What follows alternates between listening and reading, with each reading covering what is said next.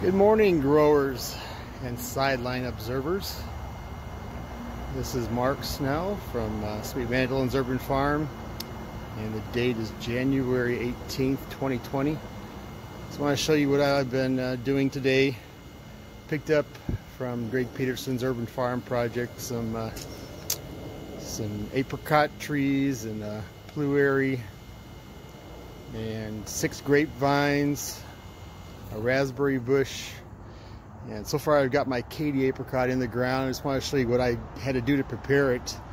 Um, in my junkyard which is going to be uh, all fruit trees eventually all this rock is going to be moved out.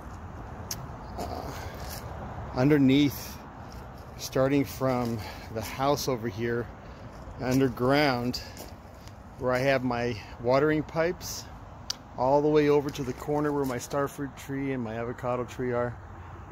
I dug a trench a little over a foot deep and filled it with a river rock. And so it goes all the way to the house. And eventually I'll put up a gutter system and uh, a downspout into it. And I've already tested it, so it's uh, a viable uh, working aqueduct. I drained my whole pool basically in that aqueduct and all it did was water my trees and the water never came to the surface stayed underground. But uh, now what I do is, the first thing I did right, right in here, I dug a trench and I'm gonna lay my, my pipe on there for my watering system. But all that river rock is in there and so it'll go right to the roots of my apricot trees here. Just like it does all my other trees, the mulberry.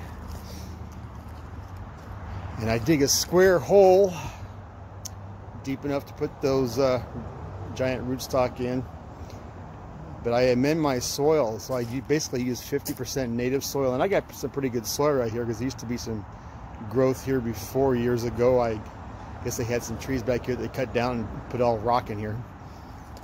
But uh, I amend the soil with 25% uh, compost, 50% native soil, and the other 25% is sand and lava rock.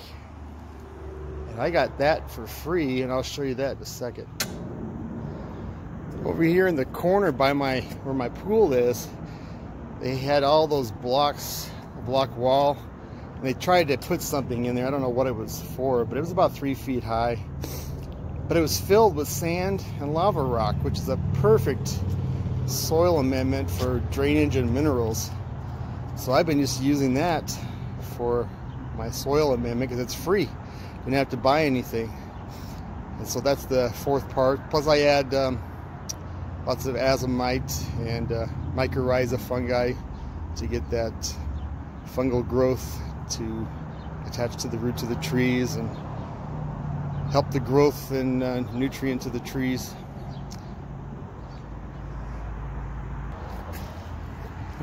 And back over by the house on the corner, this gets a lot of shade, but um, in the spring through fall, it'll get morning and afternoon sun.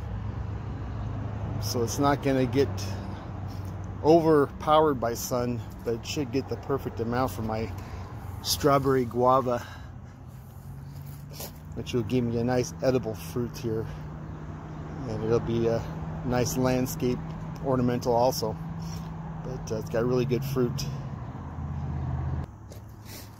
and over along uh, Mandy's she shed. She picked out some roses so I got some uh, rose bushes planted in the ground there.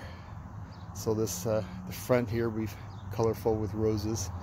And I got a couple of uh, hanging pots probably put on each side of the window here plugging with flowers. So make this she shed more of a pretty little house for the girls And this is going to be next. This is where I'll be putting up some posts, wire, put up those six grapevines, finish the watering system for it, and uh, deep mulch it. We're going to have uh, a really nice grapevine on the back wall. Probably put those vines up about five feet. So that's my next project. I gotta put in the ground. Plus the blackberry bushes and the raspberry bushes I have coming. Get those in the ground around the landscape.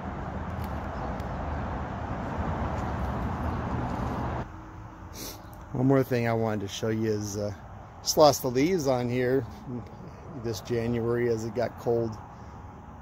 And there's uh, lots of fruit buds and they're fruit buds because it's getting full sun right now. It's going to be in the 70s all week. But look at this. Got mulberries. There's some mulberries over there. A mulberry there. This thing wants to fruit already. It's only January. So it tells me that come March and April when this starts budding out it's going to give me a lot of fruit. Can't wait. Can't wait for this one too. Those mulberries are two to three inches long, that Pakistani. So a lot of good things growing around here.